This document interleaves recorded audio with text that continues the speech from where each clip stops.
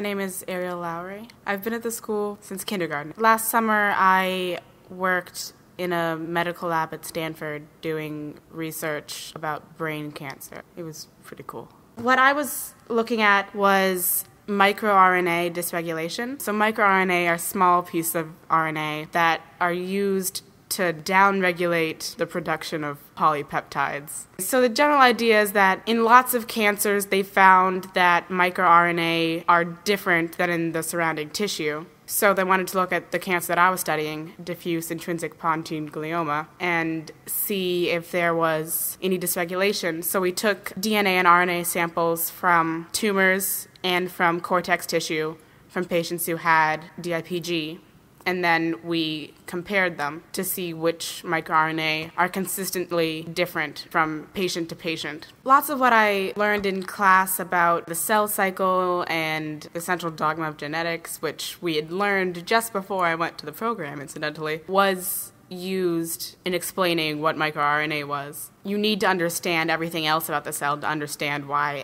microRNA matter. So I do think that it helped with the preparation for this program, even though this was stuff that you're not going to learn at high school pretty much anywhere. I really love working in the lab at school. So, working in the lab and doing something that was actually helping was really wonderful. I really liked my research mentors, and it was really nice to have everybody in the lab to talk to. Some of them have already gotten their MDs, and some of them are working for the MD, PhD. So it's good to talk to them about their experience in college and their experience doing science because that's what I'm looking at for the future, but I don't want to choose something before I know what it is. It was also nice to meet other people who are interested in science that are my age. Yes, there's a lot of people interested in science here, but it's not often that I meet people who go out of their way to spend eight weeks in a lab 40 hours a week doing nothing but pipetting things.